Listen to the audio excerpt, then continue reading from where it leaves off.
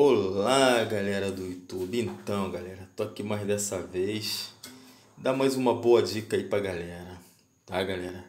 Mas antes vou pedir pra galera aí, galera, se inscreve no canal aí, galera, de graça, não paga nada, galera. O único toquinho ali, inscreva, só isso, galera. De graça, não paga nada e vai estar tá me ajudando, né, galera? Você que gosta de ajudar o próximo aí, galera. Dessa moral aí, um ajuda o outro, Deus ajuda todo mundo, galera. E dá tudo certo para todo mundo, ok, galera? Não se esquece também, galera, dá o like aí, galera. Compartilha o vídeo aí. Valeu, galerinha? Então, galera, vamos lá.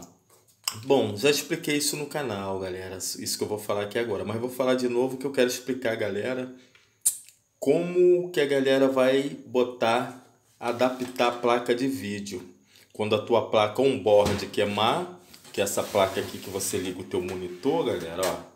Tu liga ele bem aqui, ó, né? Aí vai, quando ela queima, o que, que vai acontecer? Você vai ligar o teu computador, ele não vai dar vídeo nenhum, galera. Não vai aparecer nada na tela. Seu monitor, às vezes, se ele tiver uma EPROM desse tipo, ele vai aparecer assim, nó signo. Não vai dar sinal não. Você tá dizendo que tá sem sinal. Tá sem sinal daqui, galera. Entendeu, galera? E a galera vai saber como. Tu ligou o computador, aí deu bip, né? Deu post, deu boot, galera. Aí tu vê com a luzinha do HD tá legal, então tu já sabe que o computador, a máquina aqui tá fazendo tudo o tudo padrão, né? Então tu já vai saber que é a placa de vídeo que deu pau, né, galera? Então, galera, mas é fácil de você adaptar outra placa, galera. Suponhamos que a placa on-board queimou, não deu sinal, apagou, a máquina está fazendo tudo, tudo normal aqui, só a placa de vídeo. O que, que a galera vai fazer? Galera, ó, explicar para vocês. Isso aqui é o slot PCI, ó, dois slots PCI é justamente para isso. Que é uma placa da, da, da onboard e você já tem uma opção, botar outra placa. Senão ia ter que jogar tudo fora, né, galera? Não ia dar vídeo para tu ver, né? Então, tem essa opção aqui, ó. Tem as placas PCI, que essa daqui é, geralmente é uma placa de vídeo antiga, né? Você não vai ligar de baixa resolução. Então, tem essa PCIe, que é PCI Express, galera. Entendeu? Que essa daqui você vai ligar uma placa com uma resolução boa, né? Você vai ter que ligar no caso aqui. Que você pode até ligar uma placa para quebrar o galho, para você, né? Que é PCI. Eu vou mostrar essas placas pra galera. Galera, essa aqui é uma placa PCI antiga, galera. Ela no caso aí você tendo uma dessa ainda dá para desenrolar. Você vem encaixa ela aqui, ó. Tu vê, galera, ó, que aqui tem a marquinha, onde você vai encaixar ali certinho, ó. Essa marquinha aqui, todas elas têm. A marquinha aqui, você vai encaixar bem aqui, galera, ó. Entendeu, galera? Ó, todos os dois têm, ó.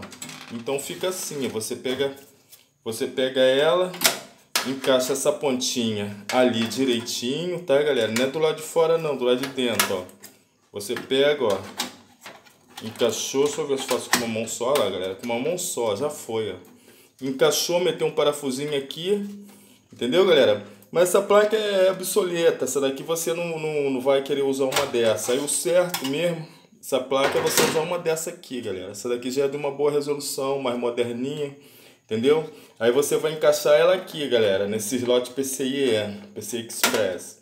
Aqui já tem a marquinha aqui, ó de você encaixar bem aqui. Ela tem um detalhe aqui atrás que você tira, vou explicar como é que é.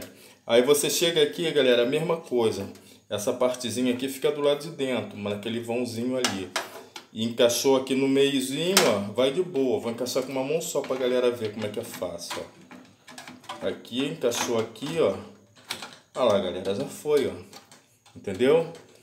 Aí só meter o parafusinho aqui, tá? Pra segurar e só isso, ok, galera?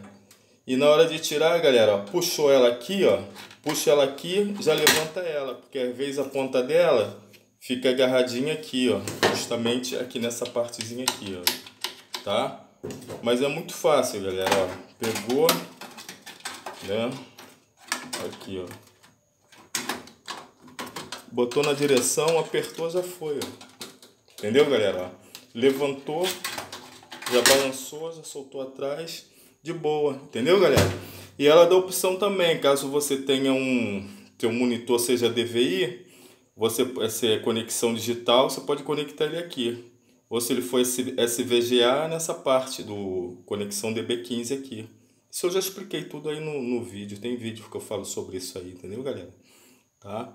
Ela dá opção, ela já é bem moderninha, ela tem o conexão DVI e a conexão SVGA, entendeu, galera? E aí a galera pegou, conectou ela, né, como eu estou explicando aqui, conectou direitinho, né? Ligou, liga o computador, que aí é a mesma coisa. Se o sistema, geralmente o Windows tem, tem muitos drives dessa placa, entendeu, galera? Ou se não tiver o drive, às vezes ela fica funcionando com uma resolução baixa, porque não tem todos os drives. O que, que a galera faz? A galera vai na internet, vê a especificação dela aqui, a numeração dela, já baixa o drive na internet, né? E já instala ela legal, já instala todos os drives e aí a placa vai ficar, ó, show de bola. Entendeu, galera? E aí você liga aqui o que você quiser. Aqui é ela. Aqui, ó. Tá? Ou SVGA aqui ou conexão moderna aqui, o DVI aqui, se tu tiver do monitor. Ok, galerinha? E é isso aí, galera. Se tu gostou, se inscreve no canal aí, galera. Dessa moral aí, não paga nada de graça, galera, tá? E dá um like, galera, e compartilha o vídeo. Valeu, galerinha? É isso aí. Tamo junto. Fiquem com Deus. Até a próxima, galera. Valeu.